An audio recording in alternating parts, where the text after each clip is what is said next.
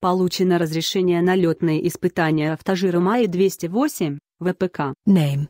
Легкий многоцелевой двухместный автожир Майи-208. Источник. www.oscobs.ru. Москва. 6 февраля.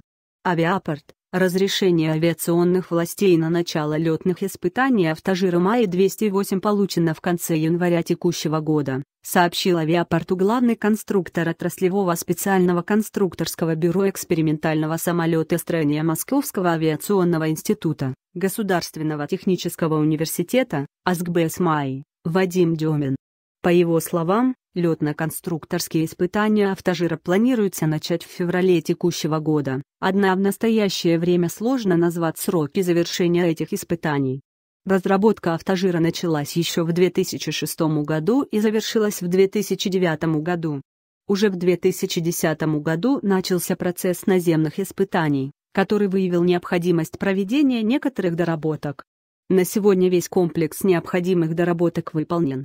В частности, на автожире установлены новые лопасти несущего винта, изменена конструкция шасси автожира, напомнил собеседник.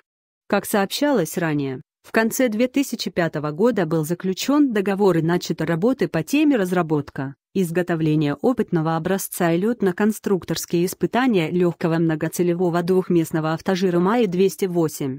Автожир строится по заказу российского клиента, его применение планировалось в Молдавии для сельхозработ, обработки виноградников. Этот же заказчик ранее закупил и первый самолет Майя-223 СХ.